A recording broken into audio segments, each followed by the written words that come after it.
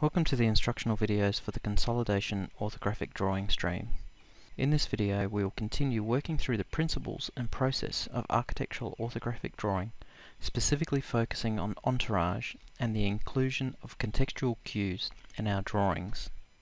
Entourage is simply the inclusion of additional contextual information into our architectural drawings. Entourage includes elements such as vegetation and trees, furniture and props, and most importantly, people.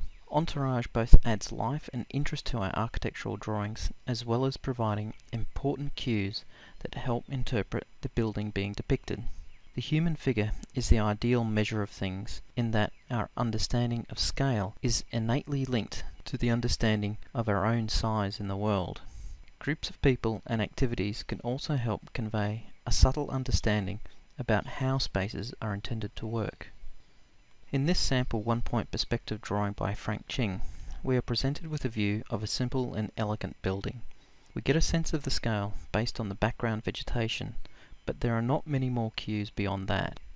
If we add some figures around an activity, immediately we get a different understanding of the building. In this instance, we get the sense that the building is some form of religious or ritual space, based on the activity and the clothing of the figures in the scene.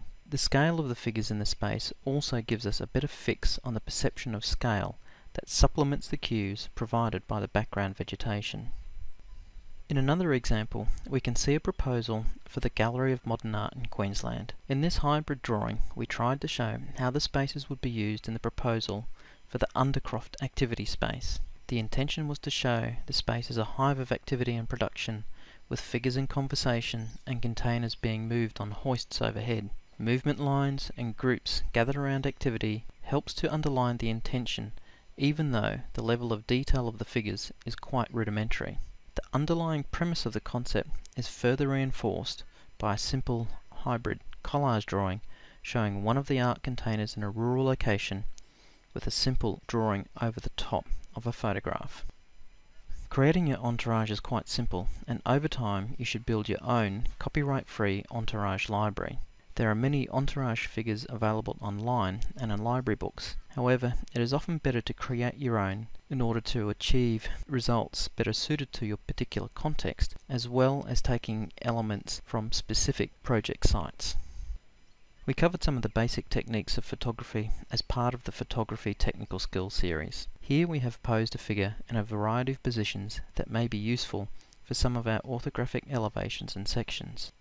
It is good practice to edit out the figure from the background if you can. This way you can use the edited figure in photo montages that you make using Photoshop. It also makes tracing the figure for your line drawings a little bit easier. The level of detail is not critical and for single line architectural orthographic drawings it is perhaps better to use figures that have been stylized and simplified. Although the figure is not strictly orthographic, it is planar enough that we can use it inside one of our previously completed pavilion elevations. It is a simple case of taking our figure from a separate printout, overlaying it on the scene, and then editing the detail of the elevation so that the figure is properly contextualized. The editing of the figure to appear behind the batten screen also helps to add some depth to the drawing. Pay attention that the scale of the figure and that the scale of the drawing are well matched. The same process can be applied to other forms of entourage as well. Here we are using a botanical drawing of a bunya pine tree to generate an outline drawing that can be used in many types of orthographic drawings. In this instance, the image was sourced from a third party with copyright restrictions, but was used as a basis for a new drawing which in effect creates a new artifact that is now copyright free. The other aspect of using trees and vegetation is to use species that are local to the proposed project site. This adds another layer of comprehension and authenticity to your drawings. In addition, if there are significant trees on or around your project site, it is quite easy to photograph these and to trace them for your architectural drawings. Finally, like the human figure, it is important to scale the entourage elements appropriately to the scene so that they assist with the perception of scale and context.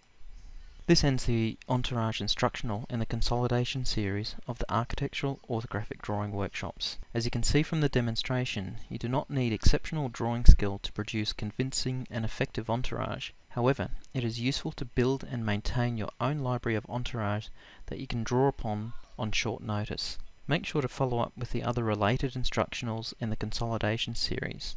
And thanks again for your time.